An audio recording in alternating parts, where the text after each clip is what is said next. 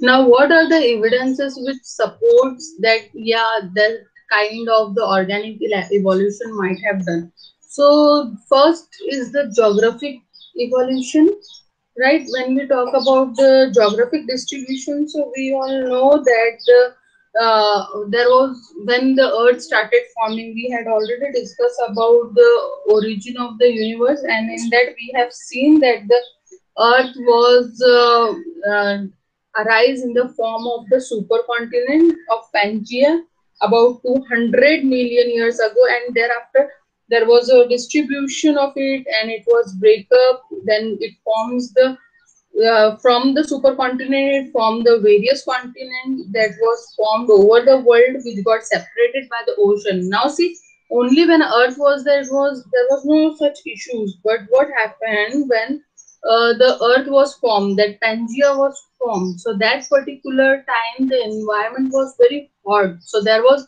no uh, water was there. Means only the hot soup which was uh, Haldane soup was there. Although there were ocean but what happened when the oxidizing environment came uh, the temperature reduced temperature cooled down. So that particular time children uh, this particular earth that was broken into the continents so the supercontinent has been broken into the two uh, Gondwana and the Laurasia and thereafter uh, slowly slowly more and more pieces has become and then all seven continent formed. So this kind of isolation led to the presence of certain species over the world which got separated by the ocean. Understood? So uh, individually the evolution was occurring. That's why we can see that there uh, there are different type of organism on the different type of continent. You will not find many organism in our area which you will find into the australia africa. Now our elephant you will find are quite different from the african elephant right? What is the reason? Because the, because of the ocean they did not migrate. So uh, and they got the divergent evolution means because of that they evolved on that particular places only. So over the period of time, all because of the divergent evolution, ancestor and newly emerged organism, they observe as the proof, right? Uh, example, simple example, if you will find the simple example is the marsupials of Australia, right? Do you observe the marsupials anywhere else? No, we find most of the marsupials into the Australia now, this marsupial, marsupial means the organism which possesses the pocket, and in this pocket they uh, nourish their young ones. And all these marsupials have evolved from a common ancestor that is Metatherian. Metatherian are the ancestor which continue to exist today with the diverse species. Now, what are the species of the Metatherian? kangaroos are there, then wallabies, opossums, then koala bear, etc. So it is observed that all these organisms they have confined to the uh, Australia only. Why? Because of the geographical isolation. They are they isolated. They all isolated from the ocean. Now, second is the paleontology. What do you mean by the paleontology? Paleontology is a science which deals with the fossils. I repeat, paleontology is the science which uh, deals with the fossils.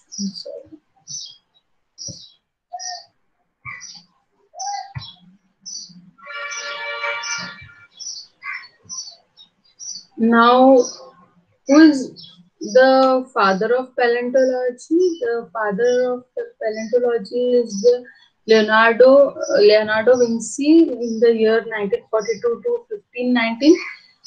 Now George Cuvier he established the modern paleontology and he was known as the founder of modern paleontology. So father of paleontology, these two things can be uh, asked for your MCQ purpose. The one is who is the father of paleontology so Leonardo da Vinci is the father of paleontology and the founder of paleontology, modern paleontology is the George Cuvier.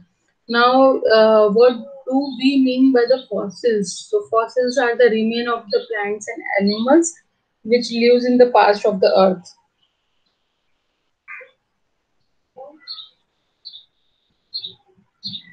Now, why we trust and why we are uh, studying this particular topic paleontology in the uh, evolution? Because paleontology is a very reliable source of organic evolution. Why? The first reason fossils are the remain of the actual organism which were lived into the past. Then second various body part of the organism found in the preserved undersea beds rock soil these all provide the information regarding the development and evolution of the organism.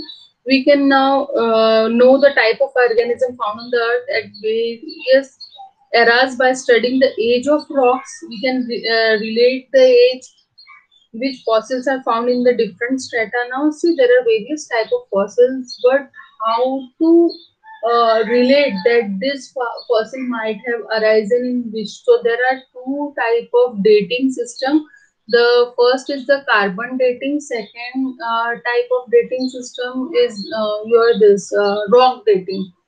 Okay, so now see uh, rock dating we, we will discuss first. In that, what they do, uh, they find uh, it is not there in your part of syllabus, but you must know the how they relate that how many years before this particular organism might have arisen so first, uh, fossil dating they are doing as per the rock strata means they find that it is present in this strata. So uh, there is the general idea that so and so time is taken place for the formation of this much of the strata of the rock. So this uh, gives the idea that fossil is present in this layer. That means this is uh, this many years old. So this is the general idea. Carbon dating, the human, sorry, the animal, they possess the carbon 14 in the body in 1 as to 1, carbon 14 to carbon 12, 1 as to 1 ratio. And this started depleting after the death of the organism. So they find that how much uh, carbon 14 is present in the body of the fossil. So with that, they relate the dating. So this is the absolute or more scientific dating. Now we will talk about the type of fossils. Now there are various type of fossils which are, are categorized as entire organism, petrification, cast or mold, compression, impression, all this. We will discuss one by one in detail. On uh, now see this is all fossil is the preserved remain of one living organism. Now fossil give us the clue about the organism that lived long ago. They help to show the evolution has occurred. They provide the evidence about how Earth surface change over the time. Not only this, fossil help scientific understanding what past environment might have been like. Means uh, we all have already studied that organism adapt their surroundings. So if there are certain changes in the organism uh, that means the fossil organism. So we can relate that this fossil is so and so years old. That means so and so years old, the environment might be this kind. That's why this organism is having this type of the feature. Understand? So uh, uh, we can relate their body parts with the organism, uh, organism's environment. Now, entire fossils, when we talk about, so the these are the whole organism, complete organism who lived about 50,000 years ago at the cold snowy part. So uh, their remains are present. Now why the entire organism is there? Because they were uh, buried into the snow rocks and because of that their flesh does not completely decay and this uh, rocks preserve their body, entire body like that.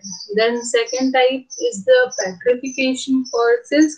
Now this particular organism which I have shown is the petrified fossil which is uh, found into the Chicago Museum. Which then Tyrannosaurus is there. Now petrified means turning into the stone this particular type of fossils only hard remain of organism get preserved while the soft part decay.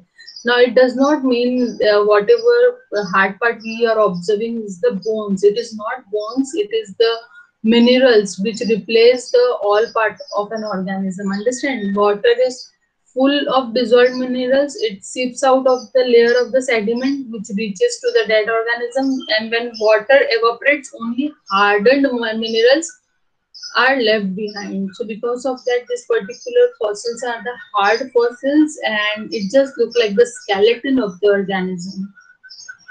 Now next is the mold and cast type of fossil so this mold or cast are just impression.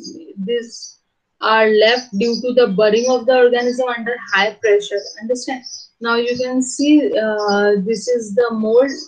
Mold is what this is only the impression of a shell which was there and this particular shell might have dissolved completely in the environment. Now cast you, whatever you are observing is only the uh, imprint of that particular organism and that organism has completely dissolved into the surrounding and only its impression is there right now compression. Compression is possible only in the plant fossils which were outline of the thin carbon film of the internal structure of plant body which was preserved into the sedimentary rock. So this particular type of fossil can be seen into the uh, sedimentary rock and this type of fossils are possible only and only in the case of the plants.